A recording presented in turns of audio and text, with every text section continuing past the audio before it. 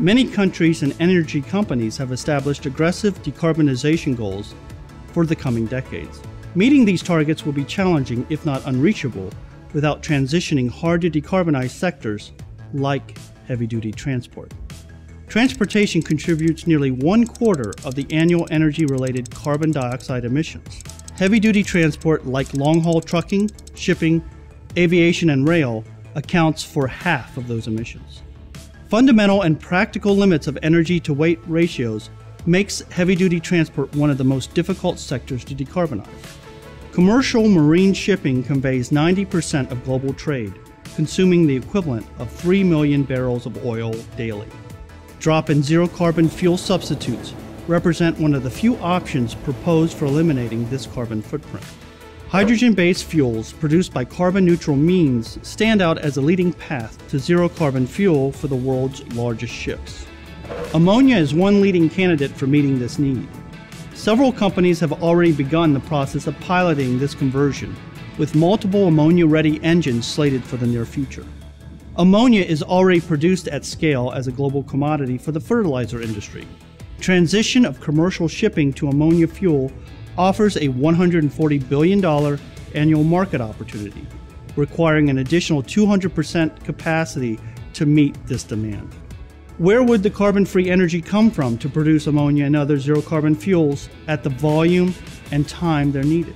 Viable options include advanced nuclear energy sources, offering inherent safety and the benefits of high temperature operation.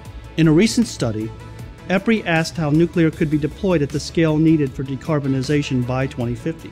One compelling approach was found in two of the very same industries that challenge decarbonization goals shipping and petroleum production. Commercial shipyards already apply modular construction and assembly in fully engineered environments for efficient fabrication of the world's largest ships on predictable schedules. Additionally, offshore petroleum production has begun shifting to ship based processing and refining using large floating production, storage, and offloading platforms, or FPSOs for short. Application of this combined shipyard FPSO model could bring down nuclear costs and timelines and increase deployment rates to meet aggressive decarbonization targets. Of the four scenarios examined by EPRI, three employ the shipyard FPSO deployment model. Returning to the shipping sector, large scale nearshore production of ammonia at ports offers on site production of a zero carbon marine fuel substitute. The model can be extended to other carbon and energy intensive industries as well, like the production of synthetic aviation fuel as a drop in substitute for fossil fuels in air travel.